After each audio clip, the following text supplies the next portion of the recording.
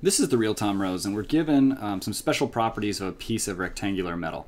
We're told that it has an area of 35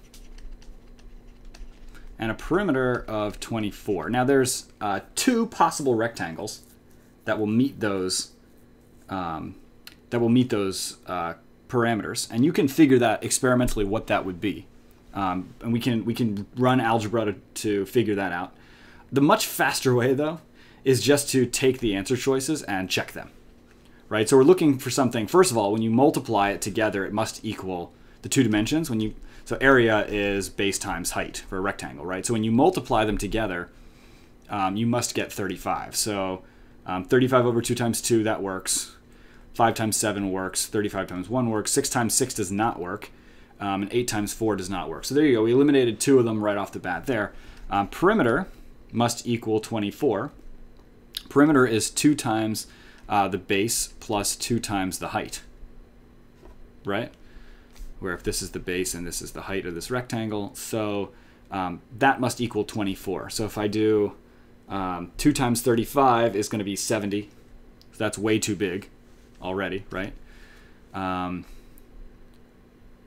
let's see, again, 2 times 35 over 2 is going to be 35, which is already too big. So the only one that, that is left is this one. So 2 times 5 is 10, plus 2 times 7 is 14. 10 plus 14 equals 24. That's that's a match. This is going to be our correct answer. That I think it's the fastest and easiest way to do this. Now, if you want to do this algebraically, you can, and I'll show you how to do that.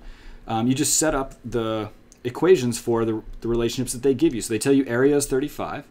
Um, area is base times height. So if I have base times height must be equal to 35. And you can also say uh, 2 times the base plus 2 times the height equals 24. There you've got a system of equations with two, two equations, two variables. So you can solve this. So let's do a substitution. So um, suppose I say b um, equals 35 over h. I can substitute that in here for b. And what you'll get is um, 2 times 35 over h plus 2h equals 24. Multiply by through by h over 2, and you get um, 35 plus h squared equals 12h. Right, you can reorganize that to give you h2, h squared minus 12h plus 35 equals 0. That's a quadratic equation. You can factor it you get h minus 5 and h minus 7 as your factors, which will give you um, heights of either 5 or 7. And remember I told you that the height, that there were two possible rectangles that, that would do this. One of them has a height of 5 and a base of 7. The other has a height of 7 and a base of 5, which makes sense, right? There's another rectangle in here which looks like this, which also has those same properties.